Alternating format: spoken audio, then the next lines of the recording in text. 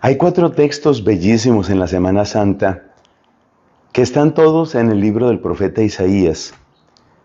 Los leemos el lunes santo, martes santo, miércoles santo, todo eso en la primera lectura de la misa, y luego el viernes santo, en la celebración de la pasión del Señor.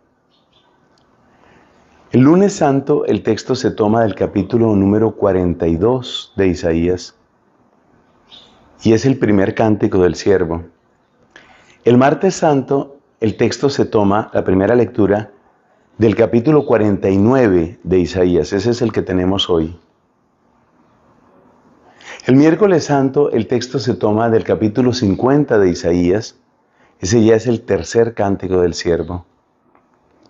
Y el viernes santo el texto se toma del final del capítulo 52 y luego una gran parte del capítulo 53 de Isaías.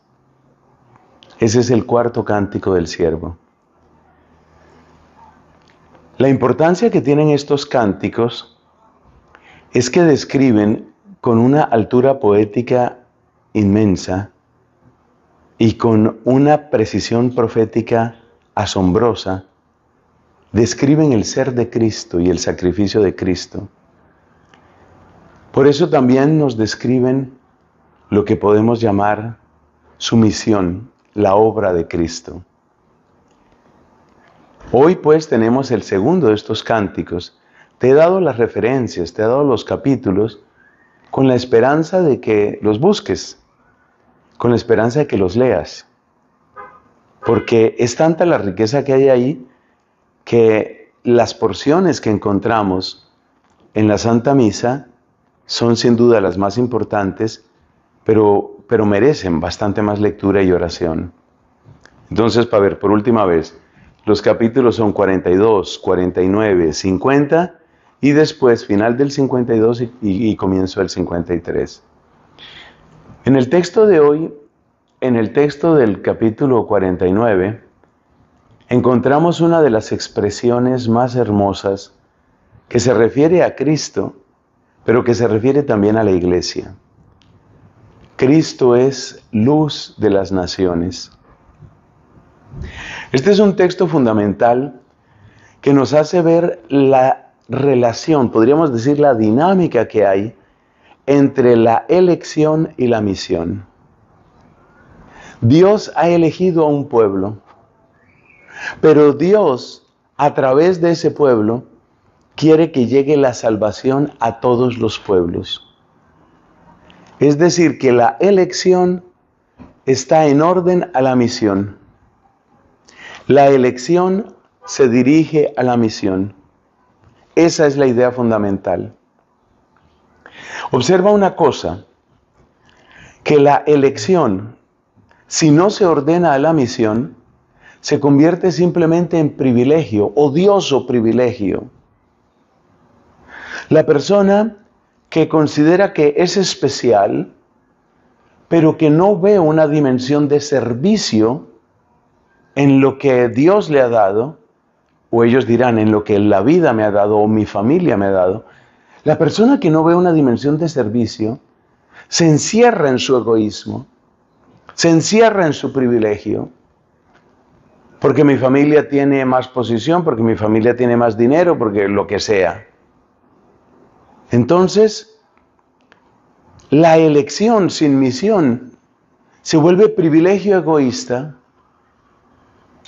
pero la misión sin elección se vuelve capricho estéril.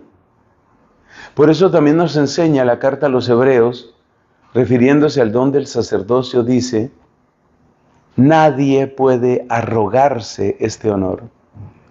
Y por eso también en la Santa Iglesia, el sacerdocio no es simplemente el resultado de un querer. Que una persona diga, no, es que yo quiero. El sacerdocio no es solamente que tú quieras, es que la iglesia te llame. Porque la misión sin elección es un capricho estéril. Entonces, fíjate, repito esas palabras, elección sin misión igual privilegio egoísta.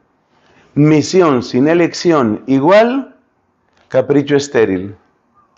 Elección y misión, fecundidad, reino de Dios, evangelio.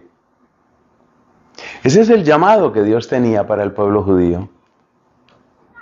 Bueno, que Dios tiene en la medida en que cada judío, también de nuestro tiempo, que se vuelve a Cristo, se convierte sin duda en luz de las naciones. Pero entre todos los judíos hay uno, que es Jesús de Nazaret. Este Jesús de Nazaret, que es el siervo de Dios, el siervo por excelencia, y así lo llama el libro de los Hechos de los Apóstoles, los textos más primitivos, podríamos decir la cristología más primitiva que tuvo el cristianismo, gira todo en torno a que Él es el siervo.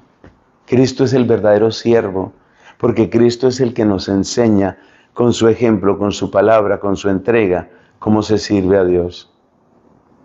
Entonces la lección de hoy es cómo hay un dinamismo entre elección y misión, entre elección y misión. Y no debemos confundirnos ahí. Eso debemos tenerlo muy claro. Porque ahora tenemos que hacernos la pregunta cada uno, ¿cuál es mi misión? Y por consiguiente, ¿para qué he sido elegido? ¿Cuál es mi vocación? Esa es la pregunta que tenemos que hacernos. Porque en el reino de Dios nadie sobra, porque en la construcción de Dios todos somos importantes. ¿A qué me has llamado, Señor? ¿Cómo puedo servir a tu gloria, Señor? Esas son las preguntas que nos deja este precioso texto de Isaías.